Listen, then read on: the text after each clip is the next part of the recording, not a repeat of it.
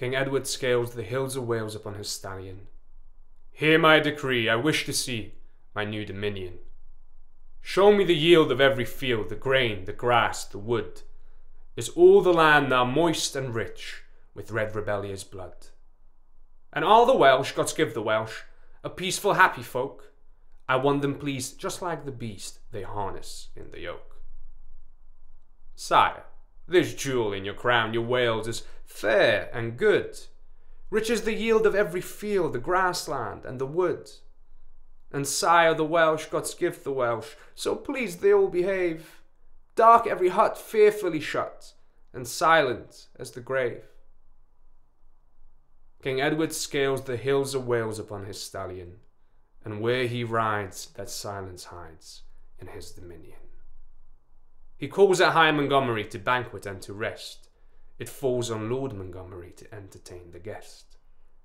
With fish and meat and fruit so sweet to tease the tongue, the eyes, a splendid spread for a king to be fed, a lordly enterprise. The waiters file with the best this isle can grow in drink and food, and serve the fine Bordeaux and Rhine in gracious plenitude. Drink now my health, you gentle sirs, and you, my noble host. You sirs, Welsh sirs, you filthy curs. I won the loyal toast. The fish and meat you served to eat was fine and ably done, but deep inside its hate you hide. You loathe me, everyone. Well then, you sirs, you filthy curs, who will now toast your king? I want a bard to praise my deeds, a bard of Wales to sing. They look askance with a furtive glance, the noble men of Wales. Their cheeks turn white in deadly fright, as crimson anger pales. A deep silence falls upon the halls, and lo before their eyes, they see an old man white as snow, an ancient bard to rise. I shall recite your glorious deeds, just as you bid me, sire. And death rattles in grim battles as he touches the lyre. Grim death rattles the brave battles, and blood bestains the sun. Your deeds reek high up to the sky. You are the guilty one. Our dead are plenty as the corn when harvest is begun, and as we reap and glean, we weep. You did this, guilty one. After the stake, the king commands. This was churlishly hard. Sing us, you there, a softer air, you young and courtly bard. A breeze so soft does sweetly waft where Milford Haven lies, with weeping woes of doomed widows and mournful maidens' cries. Maiden, don't bear a slave. Mother, your babe must not be nursed. A royal nod, he reached the stake together with the first.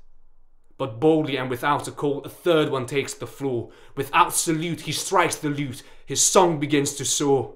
Our brave were killed just as you willed, or languish in our gales. To sing your name or hail your fame, you find no bard in Wales.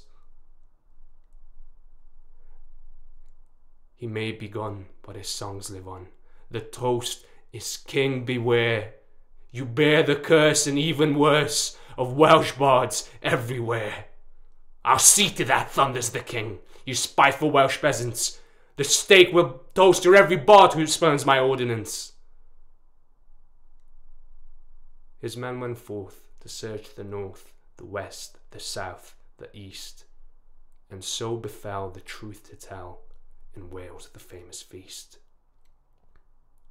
King Edward fled, headlong he sped upon his stallion, and in his wake a blazing stake, the Welsh dominion. Five hundred went singing to die, five hundred in the blaze, but none would sing to cheer the king, the loyal toast to raise. My chamberlain, what is the din on London street so late? The Lord Mayor answers with his head if it does not abate.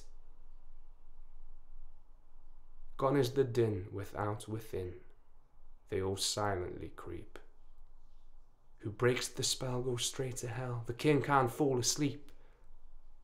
Let drum and fife now come to life, and let the trumpets roar, to rise above the fatal curse that haunts me evermore. But over drums and piercing fifes, beyond the soldiers' hails, they swell the song five hundred strong, those martyred bards of Wales.